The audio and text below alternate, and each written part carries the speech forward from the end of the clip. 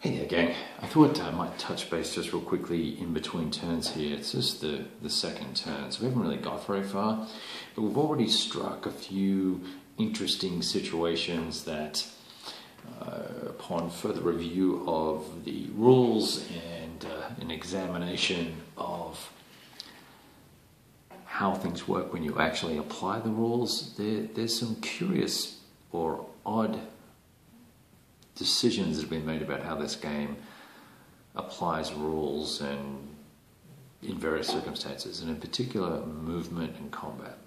Uh, yeah, two biggies. Uh, so, the first concept is that uh, you know we're dealing with monthly turns, except for winter, which is a couple of months. You know, there's two winter turns or whatever it may be. Maybe there's yeah, two winter turns and they they comprise a, a handful of months. So uh, when we play the April turn, the May turn, the June turn, we've got a set of soldiers and baggage train and all that sort of stuff, and a legion or legions with a leader, and they're trying to move. Let's say they're moving from I don't know. Let's look at the map here somewhere. Not not somewhere in Rome because you know we, you know you would imagine being able to move from here to here, you would have no problem. The army's probably marched up and down this road a hundred times. Well, maybe they haven't, but somebody has, and someone knows the way, and you've got the freaking coastline along the side there, so you ain't gonna get lost, right? So let's just say, for instance, we're trying to march from Thessalonica uh, to Nicomedia, right? I'm going to try and move the camera so that you don't have to deal with that glare. So here's Thessalonica, right here, just out of just out of shot, right right here. And I've got an army, and that army can move at four movement points, and because it's on the road, it's going to get plus two, so six movement points: one, two, three, four, five, six depending on what I roll on the table, if I just grab the table here and flip it over, I can tell you exactly what's going to happen. Uh, if I'm using a road or a trade route, there's very little chance that I may scatter. But, uh, so that's good, right? Uh, although I can face attrition if I roll a six, so one chance in six, uh, if it's wintertime, in fact, two chances in six if it's wintertime, that I will lose half my total SP. Now, if I happen to be a uh, stack of two or three legions, and those legions are measured at five. Uh, I'm going to lose five strength points, which need to be rebuilt from scratch, which cost me a strategy chit, of which in this particular scenario I have eight. So conceivably I could build eight units in a turn, and that would mean I wouldn't be able to do any use any chits for combat. Uh, I'd have to, to replace that. But if if I were to be uh, somehow I ended up here because I advanced after combat or something happened, and I start my turn there, and although I'm within you know a relatively close area, this is 40 or 50 kilometers or 70 kilometers or something like that. It's supposed to be uh, of Thessalonica. Now I'm in cross country mode of movement. I can potentially scatter. Two chances in six of scattering. One third of the time, I'm going to be once I'm finished moving. The now it's not explained who scatters you, whether you to scatter yourself or whether you, your opponent scatters you. But I'm going to be moved one hex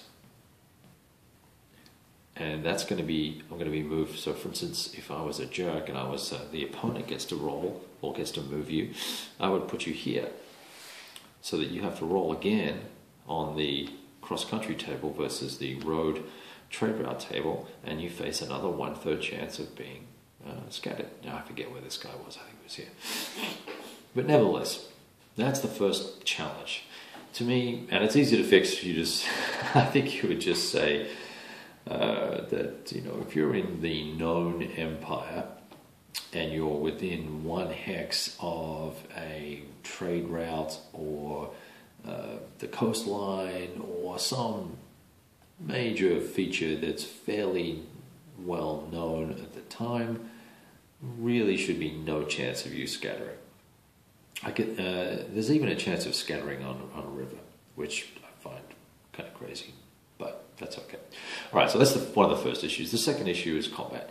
Uh, there are no breakdown units in combat, so you lose, if you've got to lose two points, if you don't have a two strength cavalry unit with you, you need to lose a four strength unit. If you don't have a four strength unit with you, you need to lose a ten strength unit to fulfill the obligation of those two those two steps that uh, or two factors that you're required to lose. The the combat um, at the basic in the basic game, and I'm using the basic rules combat because you really don't get that much more out of the advanced game. You basically grab a bunch of dice and put units on the board and come up with the same result or close to the same result. I haven't done it, so that's a generalization, but let's just focus in on this combat results table and uh, the tactic, the tactics and chits. It's it's unclear to me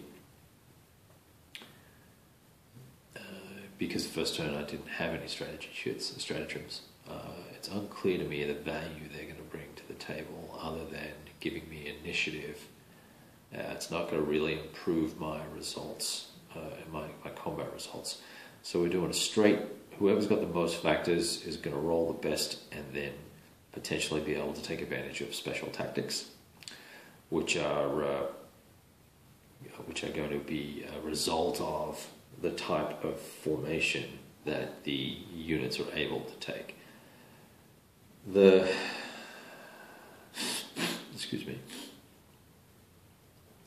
The other factor here is the, the discipline. So if you if you lose factors, that's one thing, and you've got a there's no breakdown units, so that means you can often lose a massive amount of force.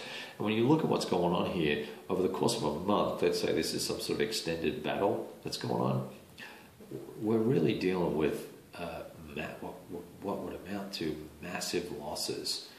Uh, which would then potentially be compounded in the pursuit phase as well. There's a missile phase, an assault phase, and a pursuit phase. So I'm a little unclear as to why the, that that's kind of structured the way it is.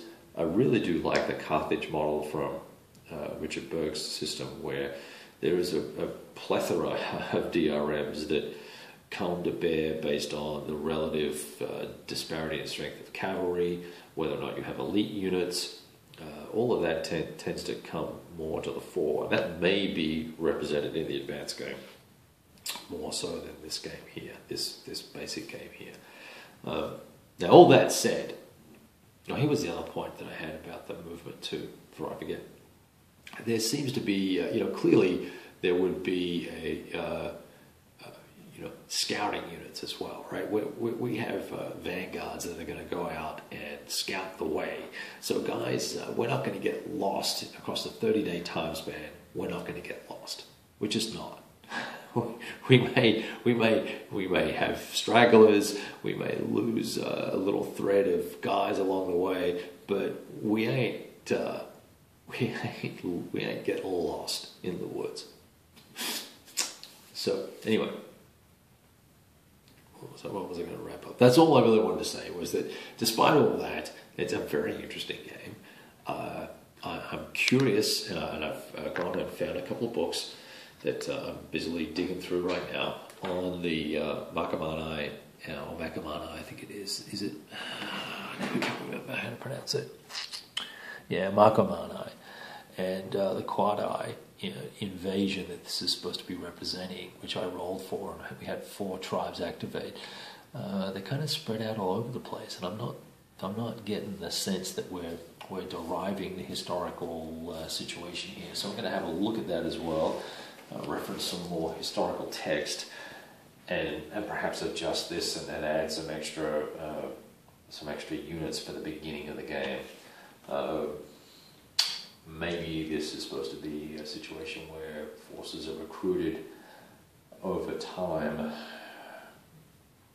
over the course of three or four months, and that may well be the case. I could potentially recruit five or six, uh, five or six uh, bands of troops uh, of German warriors.